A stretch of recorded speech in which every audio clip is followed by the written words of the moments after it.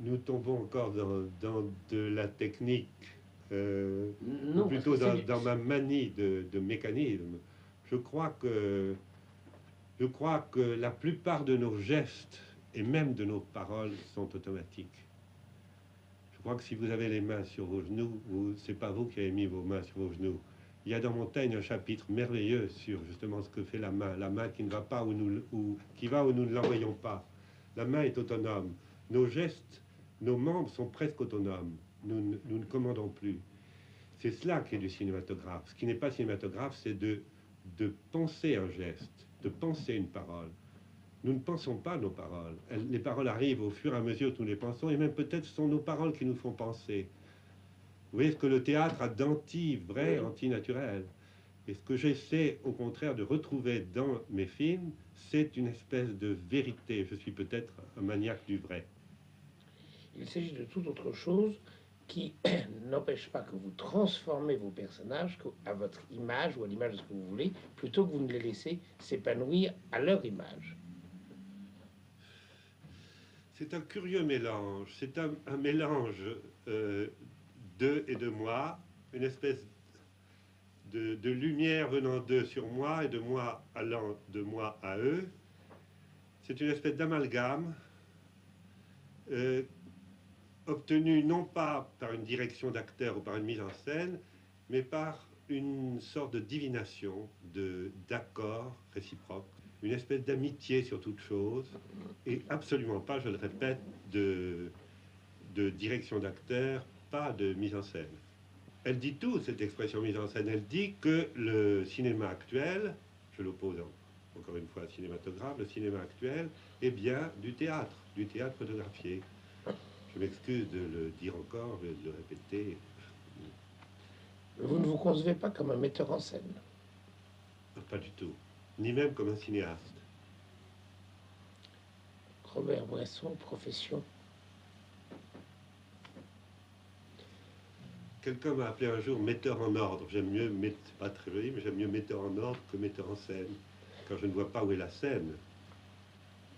Mais pourquoi ne laissez-vous pas alors les personnages que vous prenez, vous ne choisissez pas du tout, du- tout au hasard, improviser un peu plus?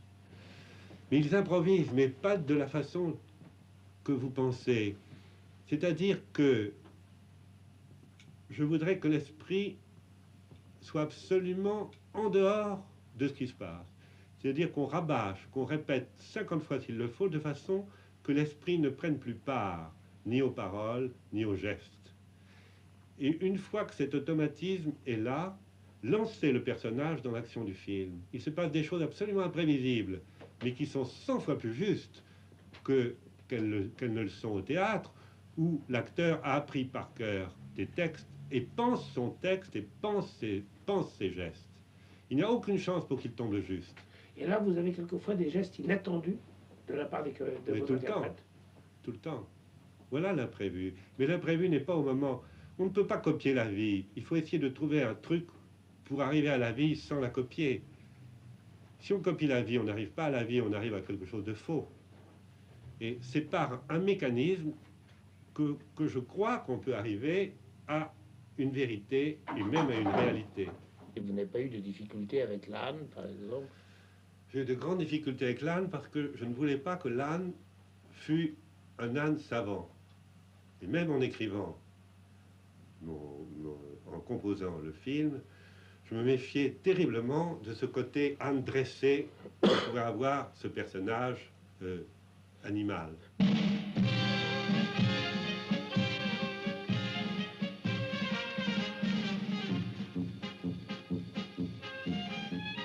Et maintenant, mesdames et messieurs, nous avons le plaisir et l'honneur de vous présenter le cerveau le plus puissant du siècle.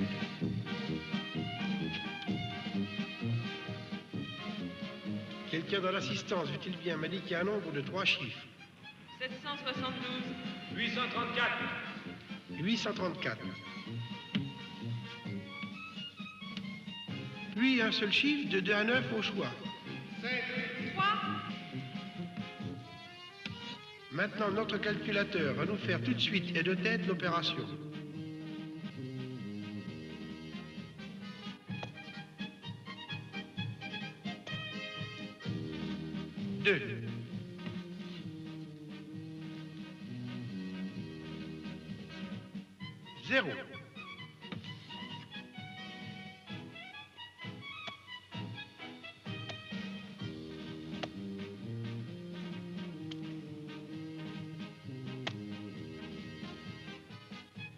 Deux.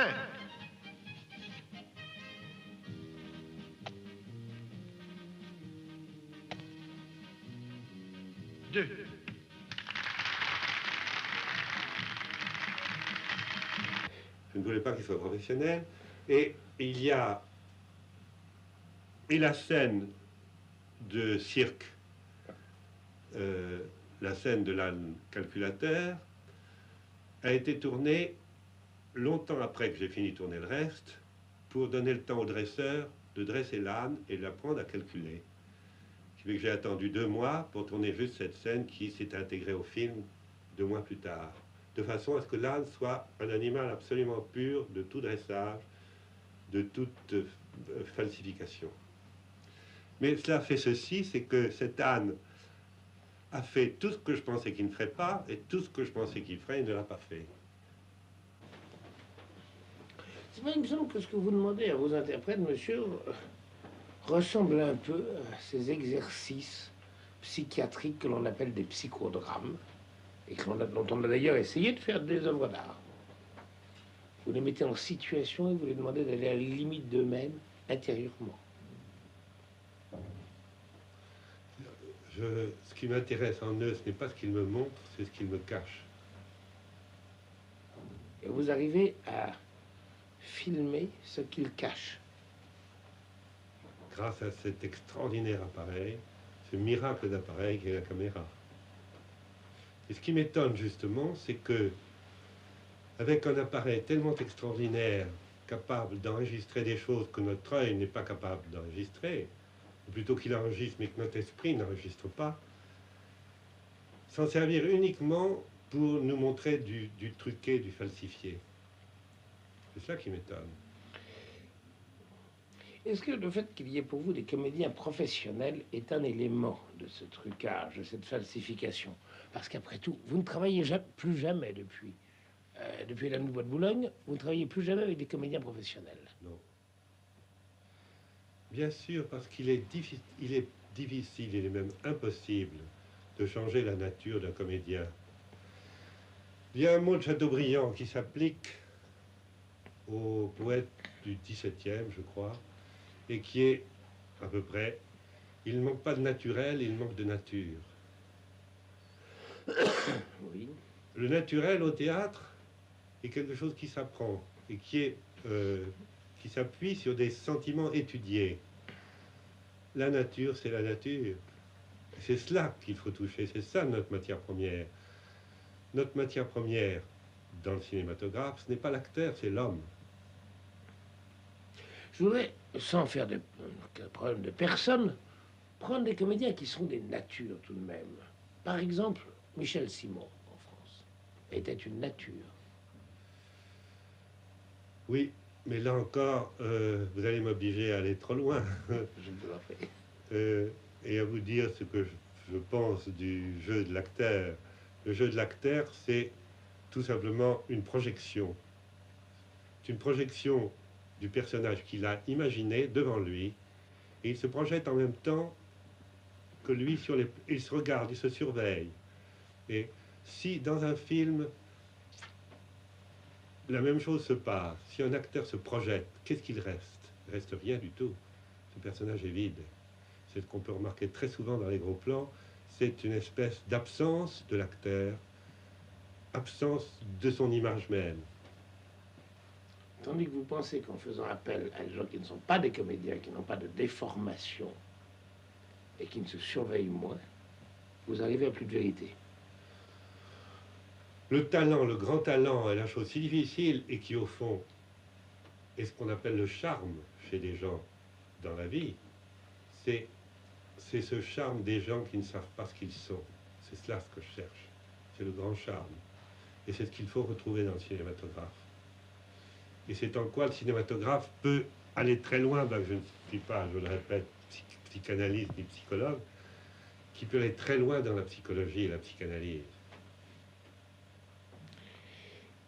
On dit je ne sais pas si c'est exact, que vous ne remettez pas à vos, comédies, à vos interprètes, pardon, que vous ne remettez pas à vos interprètes l'intégralité de votre scénario. Ils ne savent pas l'histoire dans laquelle ils vont avoir à se débattre. Non, ce n'est pas exact. Ils, savent, ils ont le scénario, mais ce qu'ils ne savent pas, c'est euh, ce qu'ils font quand ils tournent. C'est-à-dire que contrairement aux usages du cinéma, dans mon cinématographe, je ne leur montre pas tous les soirs le travail de la veille. Mais je ne leur montre jamais ce qu'ils ont fait de façon à ce qu'ils ne se voient pas sur l'écran comme dans un miroir et qu'ils ne se corrigent pas, comme font tous les acteurs. Qui se disent, tiens, j'ai mis mon nez trop à droite, je vais le mettre un petit peu à gauche, il sera beaucoup mieux la prochaine fois, etc. Vous voyez ce que je veux dire? Oui. Euh, Comment demandez-vous à vos interprètes d'apprendre leur texte? Quelle participation ont-ils à ce texte? Je leur demande d'apprendre leur texte non comme quelque chose qui a un sens, mais quelque chose qui n'a pas de sens, que les mots ne soient uniquement des syllabes, que les phrases ne soient pas seulement des mots, mais soient des syllabes, et que le sens ne vienne qu'à leur insu au moment où, comme je vous le disais tout à l'heure, je les lâche dans les péripéties du film. Brusquement, ils apprennent quelque chose en une langue étrangère et la traduction ne leur en est donnée qu'au moment où ils sont lâchés. Exactement, si vous voulez. oui. Mais vous faites des séquences assez longues pour leur permettre, ou des plans assez longs pour leur permettre de s'exprimer. Et pour moi, la substance du cinématographe n'est pas ces gestes et, et- ces mots, c'est ce que provoquent ces gestes et ces mots. C'est-à-dire ce qui est absolument indépendant de moi et même d'eux. C'est-à-dire ce qui est fait absolument à leur insu. C'est ce que dégagent ces gestes et ces paroles et qui se lit sur leur attitude, sur leur visage. Vous connaissez le mot de Montaigne qui dit euh, les gestes nous découvrent. Monsieur Louis Mal, Oui, je pense que effectivement euh, Balthazar fait avec des comédiens professionnels, euh, il y aurait, je ne sais pas, comme une, euh, comme une quelque chose de, pas juste dans les, dans le ton du film. Il me semble qu'il faut absolument que ce soit des, des visages inconnus, qu'il faut que ce soit des gens qui n'aient aucun rapport avec l'art dramatique, si vous voulez. Je crois que le, ce qui est tout à fait exceptionnel chez Bresson, et particulièrement dans ce film, c'est que c'est un cinéma qui a brisé tout rapport possible avec l'art dramatique. C'est un cinéma euh, de la vie intérieure, si vous voulez. C'est un cinéma, euh, je sais pas, qu'on peut assimiler à tout ce qu'on veut, qu'on peut assimiler à, de la musique, qu'on peut assimiler à la peinture. On peut s'amuser à ce genre de choses, et qui, je crois, est surtout le- l'expression d'une pensée. Mais si vous voulez, en général, quand les cinéastes euh, euh, passent à l'action, si vous voulez, ils chargent ce qu'on appelle des interprètes, qui sont des comédiens professionnels, d'exprimer cette pensée. Et ces gens qui travaillent avec leur, leur, leur, leur ficelle, leur truc, leur, talent, je dirais même que c'est leur talent qui est gênant, forcément euh, s'interpose et empêche, si vous voulez, la pensée de Bresson de l'empêcherait de garder toute sa, toute sa justesse. Ça risquerait de la détourner, de l'influencer, de le peut-être de l'enrichir, j'en sais rien. On peut, on peut le penser, on peut, on peut prétendre que effectivement les comédiens enrichissent euh, un film, mais en tout cas ça la déformerait. Alors qu'évidemment, euh, quand il prend des inconnus, quand il les choisit, quand il les fait travailler, qu'il s'agit, si vous voulez, qu'ils travaillent en terrain tout à fait vierge, il est évident que euh, ça lui permet de garder absolument intacte ce- l'idée qu'il se fait de son film. Et lui- je crois que si vous voulez, c'est dans son cas, c'est indiscutable. je voulais maintenant venir au scénario. Il, est admirablement construit. Mais que d'ellipses, que d'ellipses, que de points d'interrogation. Par exemple, à un moment donné, Gérard est convoqué à la gendarmerie. Savez-vous que personne ne sait pourquoi il est convoqué à la gendarmerie? Mais moi non plus. Non, je, plaisante, mais je voudrais que toutes les précisions historiques soient éliminées d'un film. Quelqu'un est convoqué à la gendarmerie, nous allons bien voir ce qui va se passer. Mais je crois qu'il y ait une règle qui est bonne, car il faut tout de même qu'il y ait des règles quand ce serait que pour leur désobéir. C'est de montrer toujours les faits avant la cause. Il faut que la cause soit désirée ardemment pour que, pour vos images, votre film euh, attire l'intérêt du spectateur.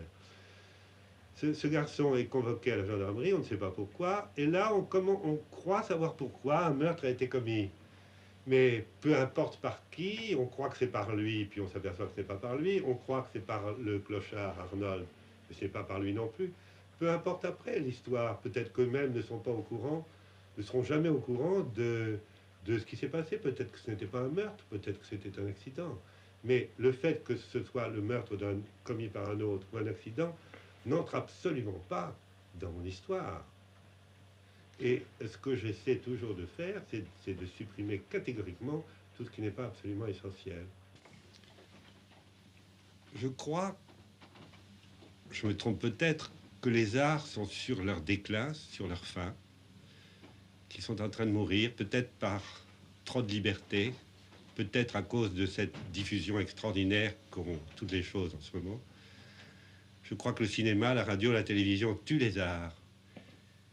Mais je crois aussi en quelque chose de curieux, c'est que c'est peut-être justement par le cinématographe, la radio, la télévision, que ces arts renaîtront, peut-être tout à fait sous une autre forme, et peut-être même que le mot art n'aura plus le même sens. Mais il me semble qu'il y a là un espoir. Je crois, en effet, au cinématographe euh, comme dans un art absolument neuf, dont peut-être nous n'avons pas encore même euh, tout à fait l'idée. Je crois en une muse cinématographe. Degas, le peintre Degas, disait Les muses ne se parlent pas, elles dansent les unes avec les autres. Je crois, en effet, que le cinématographe est ou sera bientôt un art absolument autonome qui n'est, et qui n'est pas euh, ce qu'on prétend qu'il est ou qu'il doit être, la synthèse des autres arts. C'est un art absolument, euh, absolument fermé et absolument autonome. Et vous pensez qu'il ne va plus se limiter à être ce qu'il a été pour l'essentiel, un art de divertissement? Il n'y a, pas de. Il est très possible que le cinéma opposé au cinématographe continue d'exister. Il n'y a pas de raison que euh, le cinéma divertissement ne continue pas. Mais je crois fermement en un cinématographe art sérieux et qui ne sera pas un divertissement, qui sera au contraire un moyen de, de- d'approfondissement des choses, une espèce de, de- de- de- d'aide à, la, à l'approfondissement de l'homme, peut-être euh, un moyen de découverte de l'homme.